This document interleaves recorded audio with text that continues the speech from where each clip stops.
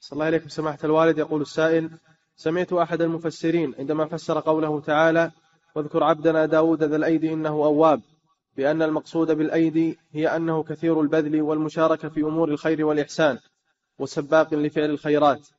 فهل قوله صواب؟ نعم يدخل يدخل في معنى الآية.